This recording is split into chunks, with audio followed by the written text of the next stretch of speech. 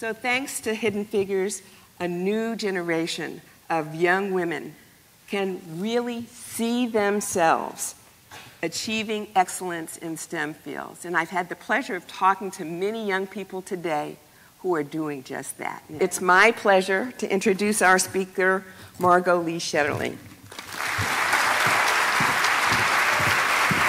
Thank you. To be here and at this school where the chancellor is the daughter of uh, one of the original hidden figures, that original group of African American women who went to work in Langley um, as, as human computers, um, is just really remarkable. You know, in all of this time that I've spent traveling and talking about hidden figures, another question inevitably comes up. Absolutely every single group and probably every conversation that I've had, um, it's usually the first people, quest- people ask, and they say, why haven't I heard this story before?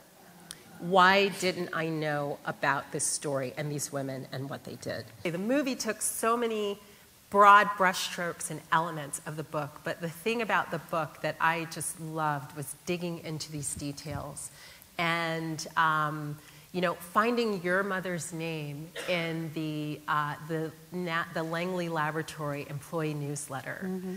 And um, you know, tracking down all of these women, where they had been to school, finding letters that their teachers had written about them, um, you know, when they were, um, you know, 16 years old, yeah. and seeing pictures of them. Do you have any Sorry. advice for aspiring authors? At some point, you just have to sit down and start writing, and you have to just keep writing. Well, thank you so much, everybody, and thank you so much. Thank you.